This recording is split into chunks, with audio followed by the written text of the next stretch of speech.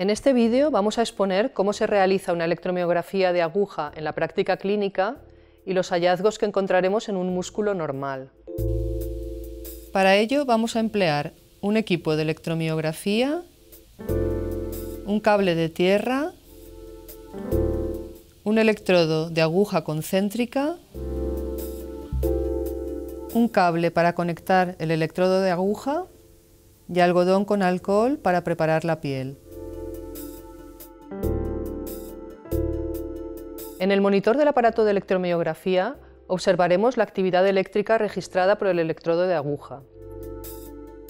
El aparato nos permite visualizar esta actividad de distintas formas. En la mayoría de los ejemplos veremos el monitor dividido en cuatro ventanas. En la inferior izquierda vemos la señal en barrido libre. Cada barrido dura 50 milisegundos y la sensibilidad es de 200 microvoltios por división. En la superior izquierda vemos esta misma señal con la misma sensibilidad y barrido, pero disponemos de un disparador que nos permite fijar un potencial de unidad motora en una determinada posición de la ventana. En la superior derecha vemos los sucesivos barridos en forma de cascada, con los mismos parámetros que en las ventanas de la izquierda. Y en la inferior derecha vemos la actividad en barrido libre, pero con un barrido más lento, de 2 segundos por pantalla, y una amplificación menor, de 1 milivoltio por división. Para interpretar los registros de electromiografía es importante recalcar que por convención en electromiografía la polaridad negativa corresponde a una deflexión hacia arriba y la positiva corresponde a una deflexión hacia abajo.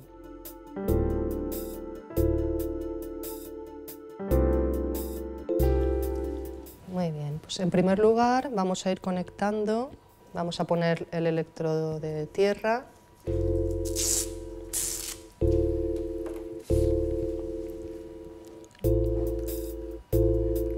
Lo humedecemos con suero.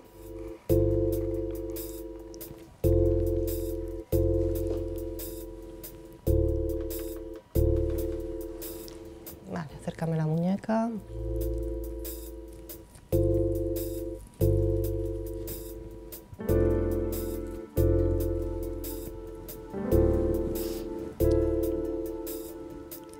Vamos a colocar el cable de la aguja de electromiografía.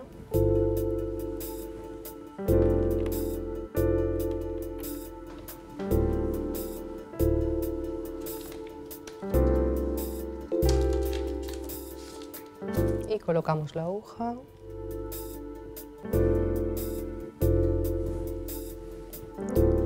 Vamos a limpiar la piel con alcohol.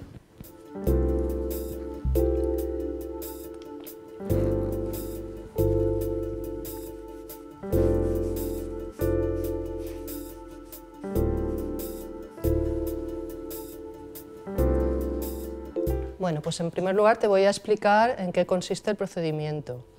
¿vale? Vamos a explorar un músculo, en este caso un músculo del brazo, el tríceps. Yo voy a introducir una, aguja, un electrodo de aguja.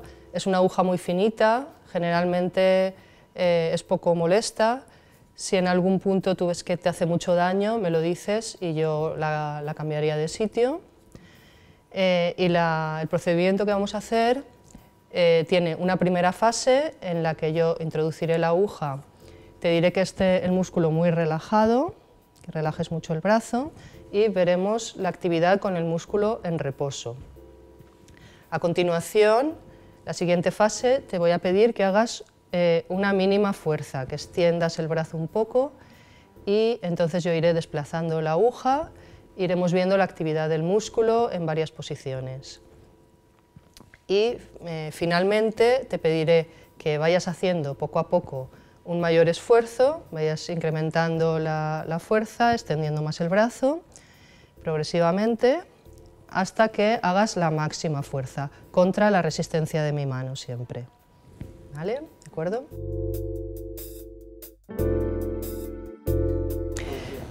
Vamos a empezar, deja el brazo muy relajado, Vale, voy a introducir la aguja ya.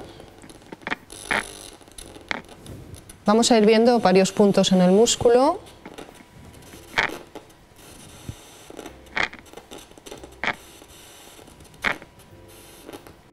La actividad de inserción es la que aparece al introducir la aguja en el músculo o al cambiar el punto de inserción. Es decir, cada vez que se desplaza la punta de la aguja, se desencadena actividad de inserción. Es una actividad irregular, breve, que cesa al finalizar el movimiento de la aguja y nos indica que la punta del electrodo de aguja está situada efectivamente en tejido muscular y no en tejido celular subcutáneo. Voy a dejar de mover la aguja para que veamos cómo es la actividad del músculo en reposo. Deja el brazo muy relajado. En el músculo normal en reposo no debe aparecer ninguna actividad.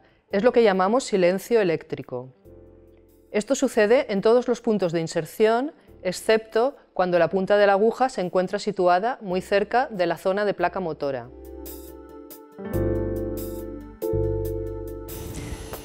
Vale, vamos a ver otro punto.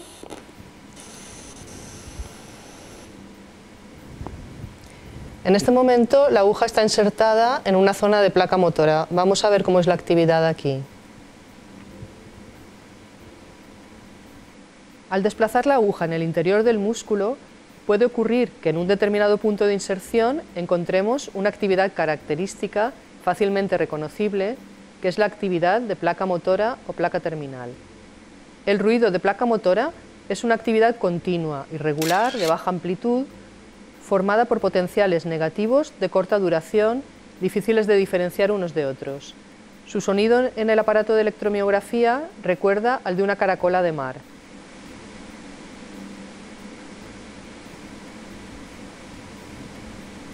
Muevo un poquitín más la aguja.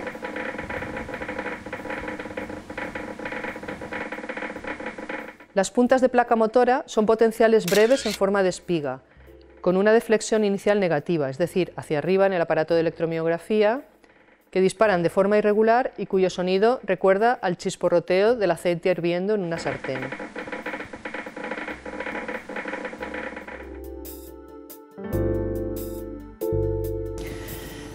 Muy bien, vamos a pasar a la siguiente fase. Entonces ahora tienes que extender ligeramente el codo, extender ligeramente, un poquito de fuerza, haz un poquito de fuerza, eso es, contra la resistencia de mi mano, muy bien. Mantén la fuerza constante, un poco menos de fuerza, un poco menos. Muy bien, ahí, estupendo. Al realizar una contracción muscular mínima, detectamos con el electrodo de aguja un único o unos pocos potenciales de unidad motora. Cada uno de los potenciales aparece de forma repetida, siempre con la misma morfología lo que nos permite distinguir un potencial de unidad motora individual de otros que puedan aparecer en el mismo punto de inserción. Una característica distintiva de los potenciales de unidad motora es su cadencia de disparo irregular. Yo ahora voy a ir fijando potenciales de unidad motora. Haz un poquito de fuerza contra mi mano, no tanta, un poquito solo, ahí muy bien. Sigue haciendo la fuerza constante, constante. Los aparatos de electromiografía disponen de un sistema de disparo que nos permite fijar en pantalla un determinado potencial de unidad motora de forma que en los sucesivos barridos aparezca en la misma posición. Para ello establecemos un umbral de forma que cuando un potencial lo sobrepasa se inicia el barrido unos milisegundos antes del punto de corte. El electromiografista determina previamente el retraso deseado es decir, cuántos milisegundos antes del disparo del potencial de unidad motora comienza el barrido. Variando el umbral durante la exploración, el electromiografista puede individualizar un determinado potencial de unidad motora, distinguiéndolo de otros que aparezcan en un mismo punto de inserción. Para el análisis del potencial de unidad motora es útil fijar un mismo potencial varias veces en pantalla, visualizándolo en forma de cascada, o bien realizar un promedio de varios barridos. De esta forma podremos estudiar una serie de parámetros. Los parámetros más importantes a analizar son la duración, la amplitud y las fases. También puede ser interesante la morfología, la frecuencia de disparo y la variabilidad en las sucesivas descargas. La duración está directamente relacionada con el número de fibras de la unidad motora. En este ejemplo tenemos una partición del monitor que nos permite ver más barridos en forma de cascada. A la izquierda vemos la actividad del músculo en barrido libre y a la derecha vemos en primer lugar un potencial de unidad motora fijado y debajo los sucesivos barridos en cascada. En esta ventana, mediante unos cursores, marcamos el inicio y el final del potencial de unidad motora. En la ventana inferior izquierda nos aparece la duración de este potencial. Moviendo el electrodo de aguja conseguimos visualizar otro potencial de unidad motora, lo fijamos, situamos el inicio y final y obtenemos la duración.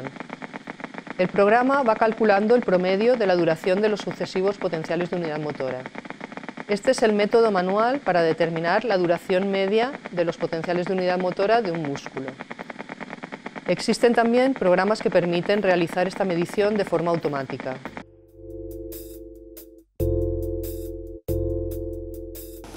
Muy bien, pues ahora vamos a ver ya el reclutamiento. Entonces tienes que ir aumentando la fuerza muy poco a poco contra la resistencia de mi mano.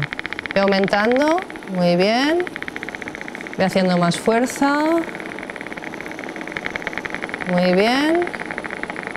En el músculo normal al aumentar la contracción voluntaria, se produce, por un lado, un aumento de la frecuencia de disparo del potencial de unidad motora inicial.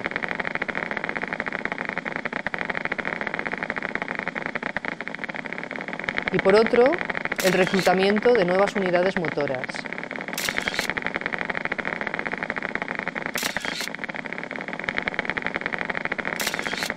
Conforme el paciente aumenta aún más la contracción, siguen reclutándose unidades motoras de forma que se hace más difícil distinguir los potenciales de unidad motora individuales.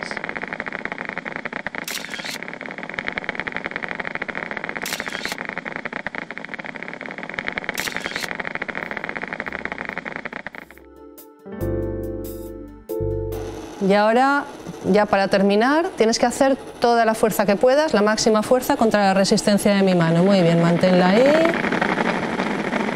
Estupendo. Al llegar a la contracción máxima, se han reclutado múltiples potenciales de unidad motora que disparan a frecuencias altas, en torno a los 50 Hz. Estos interfieren unos con otros de forma que ya no es posible identificar potenciales de unidad motora individuales. En el músculo normal, lo que se observa en el aparato de electromiografía es una línea gruesa de amplitud más o menos uniforme que denominamos patrón interferencial. Vale, pues voy relajando.